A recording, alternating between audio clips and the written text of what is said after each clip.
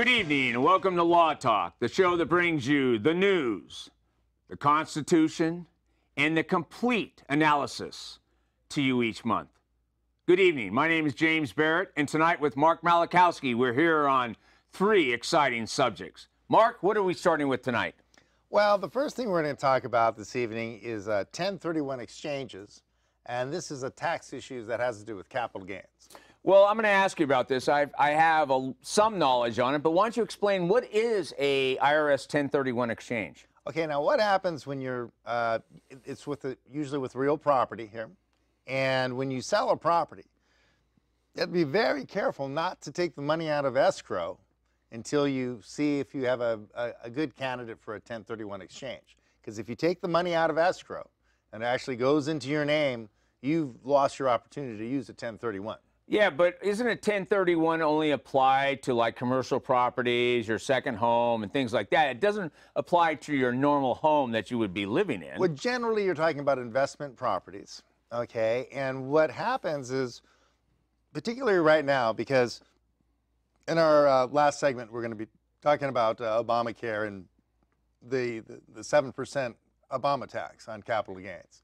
And um, that could have been repealed a few weeks ago, and that didn't make it through the, the Congress. So right now, uh, Obama moved capital gains up from 15 to about 22 percent or something in there, right? So, Yes. so, um, and also you you also have a 3.3 percent tax for the California Franchise Tax Board. So you're talking in the in the area about 25 percent. So let's say you have a a property, $10 million, okay? So $2.5 million of that is going to go to capital gains. You're going to lose that to the federal government, right? Well, the, the, the problem with the 1031 is it's got so a lot of restrictions. And the, the, the problem lies on you have to identify your property ahead of time that you're going to exchange. And normally it's like a commercial, say a commercial building. You have to identify a like property that you're going to take the money you get for the sale of that commercial property and then roll it into the new property and you effectively don't get taxed on the the benefit of the sale of your original property. Now the problems are are timelines because first you have to identify the property almost immediately while you're in the process. And then you have 45 days to commit to that property. And you have up to 100, and- I believe it's 106 months for your final conclusion and the close of escrow on the second property. Now, the problem with this is if you don't do that, you lose automatically and you fall into the capital gains tax. Okay, so let's look back at kind of the philosophical reason that they put this in the tax code, if there's any reason at all for tax Ah, codes. taxes, eh? But um, what, They're what, all did- what, illegal, did, what did Lao Tzu saying said 2,000 years ago? Taxes are not raised for the benefit of the tax, that's for sure. But uh, the idea is, is that you want the investor class, people who are investing, to put the money back into the economy. You don't want them just to take their money and sit on it. So what this does is gives you a chance to defer that capital gain if you're willing to reinvest it. Now, why is that would scare people? Of course, anytime you invest things, you're taking another risk. Instead of taking the money and saying, okay, I've got this money, I can hold on to it. Anytime you buy, you buy another property, you're taking a risk that the value of that property will go down or a lot of things could happen. So this is to encourage people to reinvest the money that they're taking out of the, the profit they made on their last property. And the idea is that, you know, from an operational standpoint, they have what they call an accommodator. You want to put that money that you made from your last property sale into the accom- accommodator, and then you have 45 days after that closing of the first property to identify your new property. Now, if you don't find another property, you can take the money out of the accommodator and, And you'll fall under the capital gains you'll tax fall under the capital gains. You won't lose the without penalty Well, there is a slight fee. You're in a you know eight hundred dollar fee or thousand dollar you know somewhere for in the that area accommodator. for the accommodator to set it up. So you might your broker's going to make another thousand bucks Yeah. or something like that. But you can always pull the money back out, so you're not going to lose it.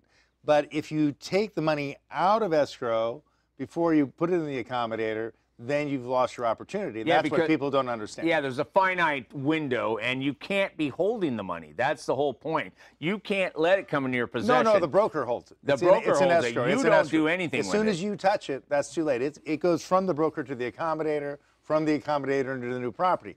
Now, there's things you can do with the money out of the accommodator. You can take uh, take out loans and match that and buy a, a bigger piece of property.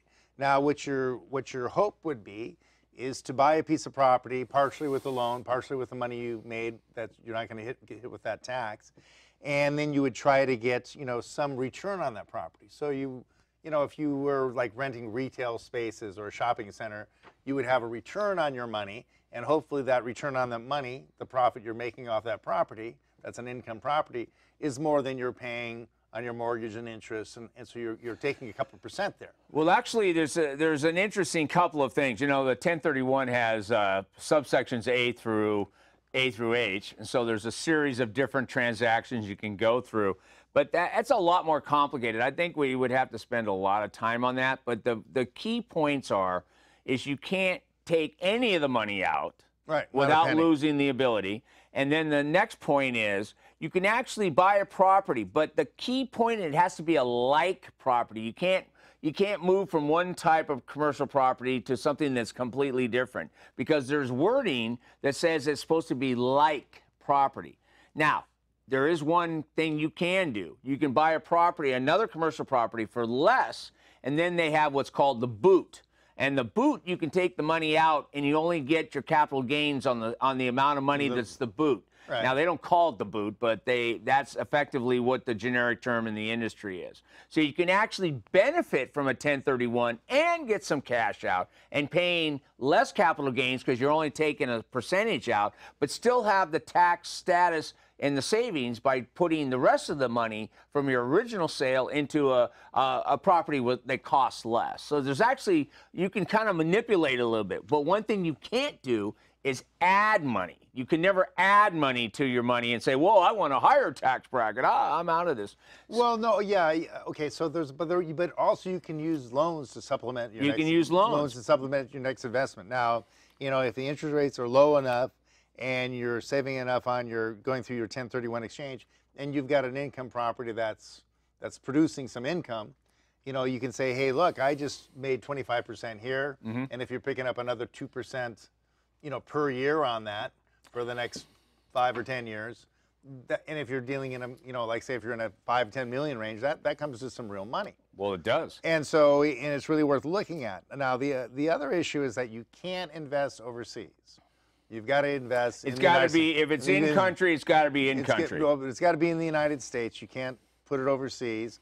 Um, and even if it's a like uh, investment, the, the, the states of the United States are so are so different that you can take a, a property that you're renting here with so many, you know, like a quarter acre and maybe buy 10 acres in Idaho to do the same kind of thing. So, you know, and then maybe get a slightly lar- less return, but take less of a risk.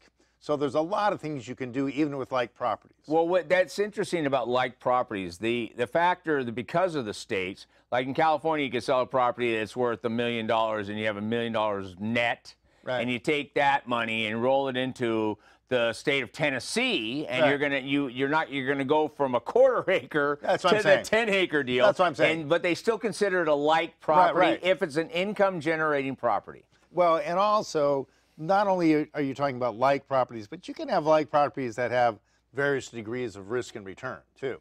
You know, so like say you're looking at professional buildings, that's one kind of risk. You're looking at retail buildings, another. Looking at agriculture is another type of risk.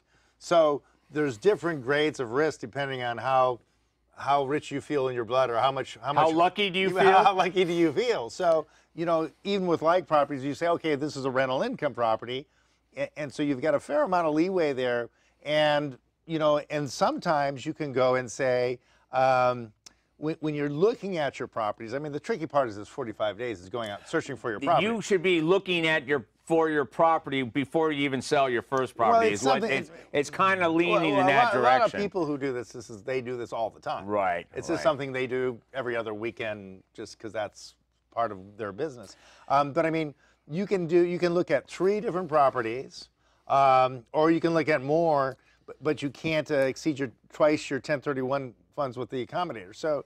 You can look at several different properties and identify these, and so you've got some time to decide. But you have to identify these three properties. I think on that pretty note, quickly. I think on that note, we'll leave this because actually it's very complicated, and I think we should move on to our next subject. What's our next subject tonight, Mark? Okay, well, this is kind of a landmark uh, situation. Is Neil Gorsuch is the new uh, uh, SCOTUS uh, Supreme Court Number nine. uh, uh, uh, justice, and uh, Neil was, uh, I guess, tested by fire, going through these things they call the murder boards, uh, going through these interrogations because he, you know, in Congress, or you know, was going to be very tough on him, and the Senate. the Senate was being very tough on them, and the press and everybody was being very tough on him. Um, he came from, uh, I guess, a, a certain bank of judges that had been identified by a certain organization that was pretty conservative.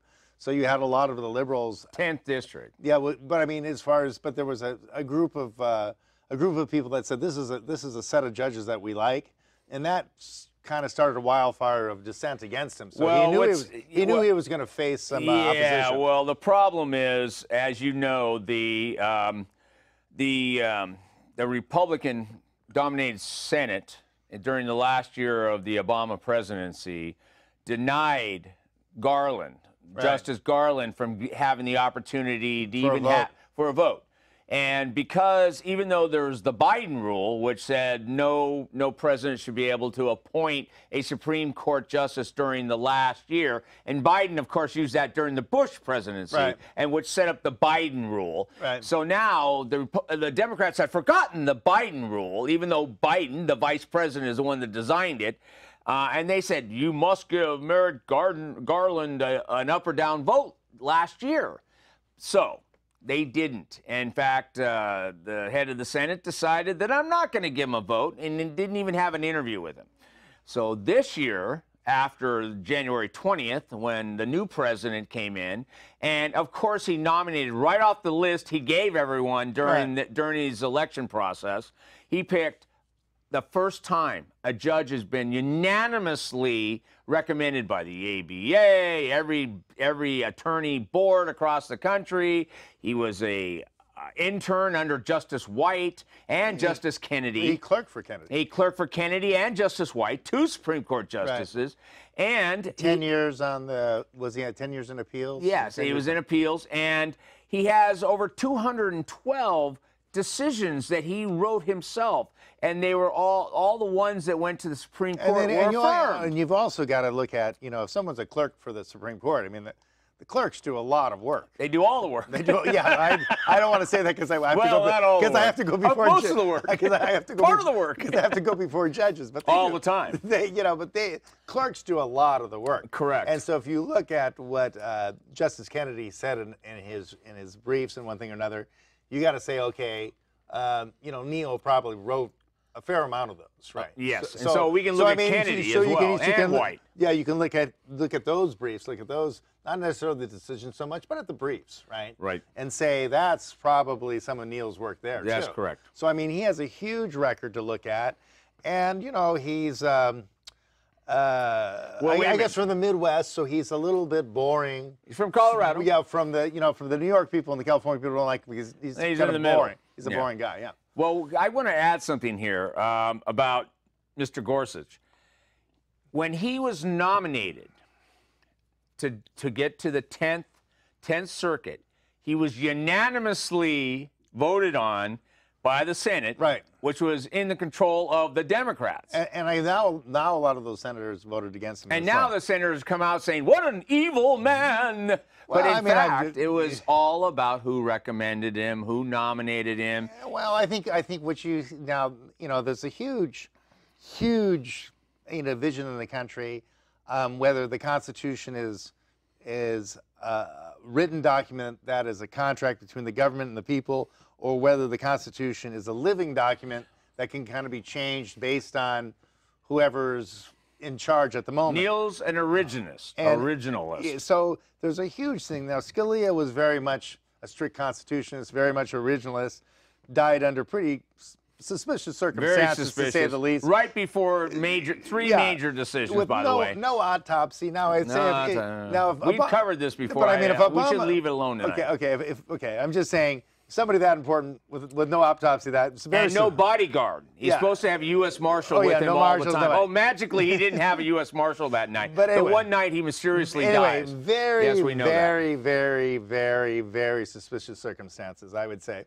Um, an unfortunate passing, um, kind of like Ted Stevens. Oh, Ted. Stevens. You mean the 60th vote with 60th his vote. replacement on the Yeah, yeah. Obamacare? Yeah, yes, let's talk. Okay, so anyway, um, Gorsuch uh, graduated from Columbia, Harvard, and Oxford, um, clerked for two Supreme Court justices, and did a stint at the Department of Justice. Highly regarded. And so what the Democrats did, or Schumer did, is said, well, we're going to filibuster the Supreme Court. Uh, the Supreme Court. Now, this has never been done in history ever before. They've never they had the ability to filibuster the Supreme Court, but Democrats But they always gave them a vote. but Whigs, Republicans, whatever the parties ever were, it's never happened before. Now they said, oh, well, this is a tradition. Well, it's a tradition that never happened before, which I guess can be. And so Schumer said, well, we're gonna we're gonna filibuster this. That kind of fell flat because he didn't have the votes in the Senate.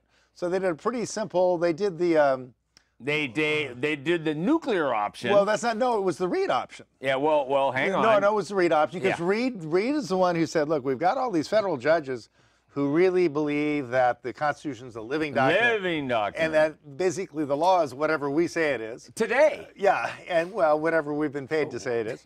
And uh, so that's when they did the first thing where they said, uh, we're going to get rid, of, Well, we're going to filibuster. Harry Reid, when he led the Senate, said, we, "Because you're not letting President Obama's judges get to into hmm. the circuits, Right, right. That we're gonna we're gonna eliminate the rule for all judges except for the Supreme Court judges." Right. So when, funny enough, when the Democrats said we're not going to vote, we're going to do, pull the filibuster, which no one's ever done, regardless of what. Uh, Mr. Schumer said over and over again, it's been done all through history. No, it's never done It's before. never been done. Never done before, And so, so his what was does the first. McConnell do? Well, we're just going to skip that rule. That rule's out the window, and now it's Well, just no, an I mean, what, he- what he did, he en- he enforced he enforced the, Harry Reid, Reid, the yeah. Harry Reid bill. Yeah. And so the Harry Reid rule. So the Harry Reid is the one who came up with this, and so. You know, I mean, these things in Congress, you know, as there's always a pendulum swing from one side to the other.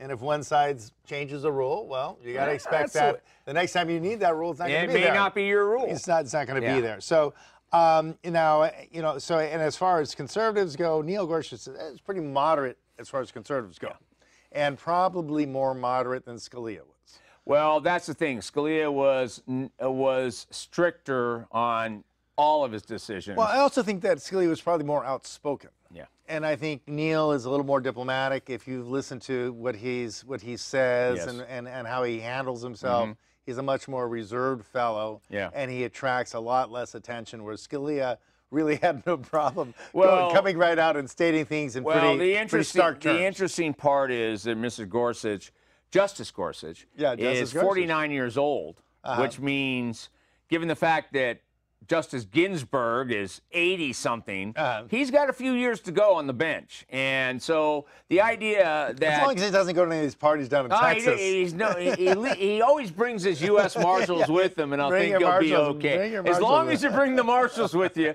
and there's at least one outside your door, there won't be any needles in the night. Yeah, needles but, in the uh, night. the the good thing about this is that um, a new president has the right to appoint the justices he wants to Well, appoint. I would say if you look at you know this appointment, it's a it's a very moderate appointment. Uh, I think that Schumer made a huge political mistake by doing the filibuster because he did. because now he's that rule's gone. that rule's gone. and What no- happens next time? And, so that's so basically now Trump's in the position where he could he can um, do a more right wing justice because this was a pretty moderate justice I mean, Compared to you- what he could have done. well, oh yes, and and so you know you're so the he Schumer kind of threw this thing down, and I think that was a error, but I think maybe he was doing it maybe as an emotional reaction more than as a well, thought out, no, thought out actually, technique. the- actually, what he We're was, he had to listen to the far Drum- left yeah. base. Yeah, drum up the base. And I think on that, we have to think about one thing. The next judge that's appointed, there won't be any filibuster. It'll be No, there's no filibuster. bung, bung, bung, you're on. Right, and right. if, uh, if that happens to be. well, it kind of depends, but I mean, you don't know what's going to happen in two years. The Congress may change. The Senate Yeah. may change in two years. well, let's wait and see. So we'll but see on that note, what is our third topic tonight, Okay. Mark? Okay. Here we're going to talk about something. Um, we're going to talk about medical insurance, And uh, medical insurance, insurance is kind of a shared risk pool when people say, okay, if, if some huge thing happens, some terrible thing, I'm going to put money aside and we'll have other people put in a shared risk pool. That's what you call insurance. And hopefully it never happens. But if it does, if a huge catastrophe happens, then I'll have money set aside to handle that catastrophe. So that's the principle of insurance. Um, now, what happened when you kind of socialize insurance, like they did in Russia and they did in Hungary? Like I've been in the hospital in Hungary, and you know you're waiting in line behind 100 people, and you know the doctor sees you well, after. what happens if your arm's hanging well, off that's and there's matter. blood, You- blood yeah, shooting out? You're That's there the delay. 15 You're in line. And then they say the you gotta take a ticket. No, the doctor says, well, you're going to die, which is always right because you're always going to die. But then what you do, you go to the front line, and this was, of course, 20 years ago, and you give them $100 bills, and all of a sudden, whoop, you, know, you got good care. So socialized medicine works great as long as you can bribe the doctor. Right. But socialized medicine is a disaster. I mean, they have socialized medicine in Canada, that everyone loves it, but they need a heart operation, they fly to the Yeah, United States. well, you know, I keep hearing this.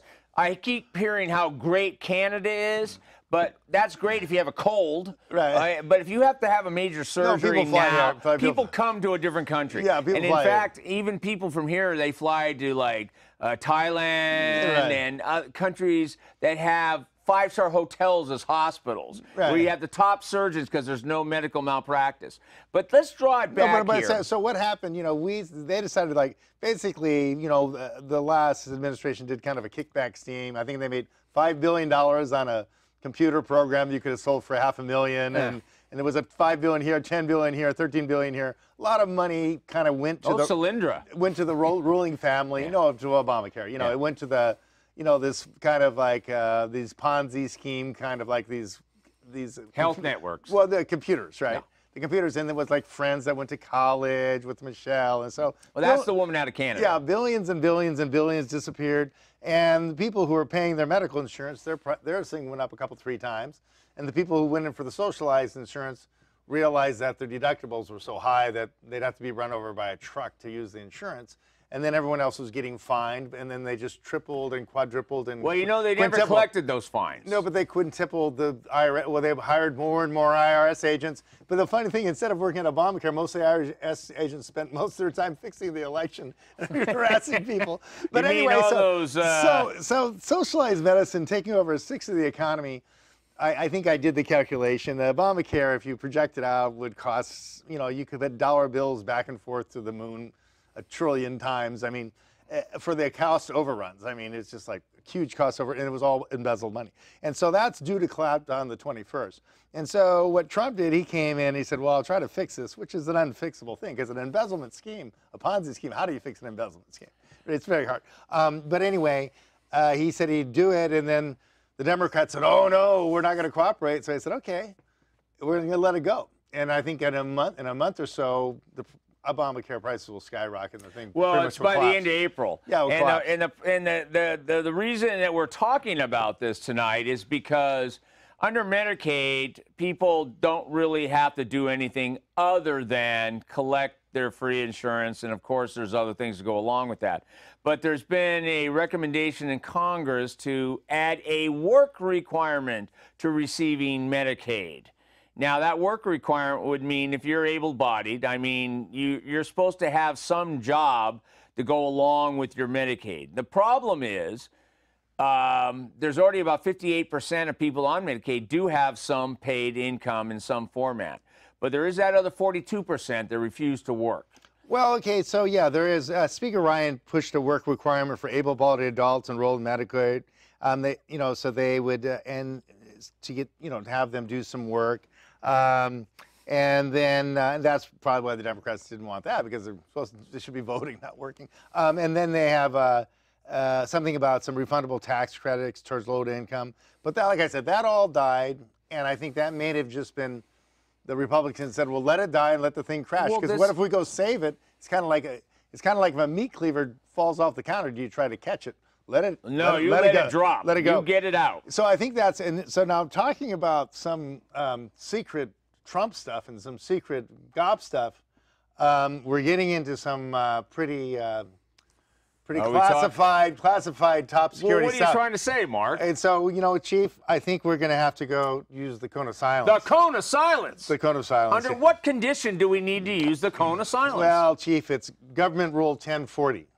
1040. Yeah, and uh, so we gotta, we gotta, we gotta use it. We gotta use the cone of The silence. cone of silence. The cone of Oh, silence. we yeah, have to okay, go to go the cone of silence. Okay, there we go. So, Chief, I was coming to work today. I missed the train by that much. But who's that- listening that to much, us? That much. Why are you Okay. worried about discussing Hong Kong? So the Obama Kennedy Syndicate, or ACORN, started in 1991. Acorn? Acorn. What tree is that? Uh-oh. Oh, wait a minute. Wait. Oh, wait a second. Well, take off the cone of Oh, silence. there goes the. Wait, wait. 88. It's Max. Okay, how's it going? Oh yeah, yeah, yeah. We were gonna fly you back, but we missed it by by that much. By that much. You missed it by that by much. that much. Okay, okay, Agent 80. We'll have, to, we'll have to talk later. I'm here with the chief. Okay. So anyway. Well, um, I'm going to have to tell you the Obamacare that we just talked about, and thank you for informing me of how serious Acorn and Obamacare was. Well, so here's kind of, and the reason we got to use the cone of silence is because uh, apparently Trump was wiretapped by uh, by Obama's uh, stellar wind.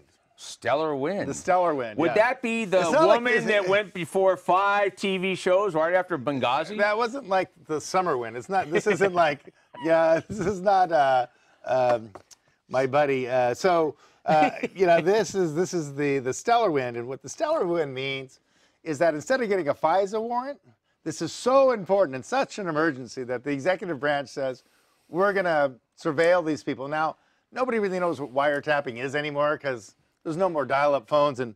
And no, no one even has shoe phones anymore. So- Nobody has a shoe Well, phone. yeah, They've been train, train, traded in for con- canvas Yeah, and, so- so- and uh, whatever else. I mean, there's just too many so if you could call it eavesdropping or surveillance or hacking, but whatever it is, it's someone listening in onto a private conversation. Should we be looking right now? well, we had the code of silence, and Well, that, we that- we, had, we had some problems yeah, with that. Okay, so um, so anyway, so Comey was before the uh, Congress the other day, and he said, "Oh, there was no wiretapping, there was no spying on Oh, Trump, no spying. which was absolute perjury." And uh, but you know, Obama people, well, because Comey's kind of like a lapdog for Hillary, and so you know, if you look at Eric Holder, remember. Yeah. And his TV show. I mean, you know, these people getting up and perjuring himself before Congress is old hat. Well, you Nothing know what? it. I think I think we should go back to this in our next show. But for tonight, Mark, I will tell you, we are not going back to the cone of silence. No matter what you say, at any time, I think I- wait a under any condition. Wait a minute. Wait a minute. I see what 88 says about that. Wait a minute. You mean 99? 99, 99, 99. The 88. chief, the It's chief, 88. the chief, the chief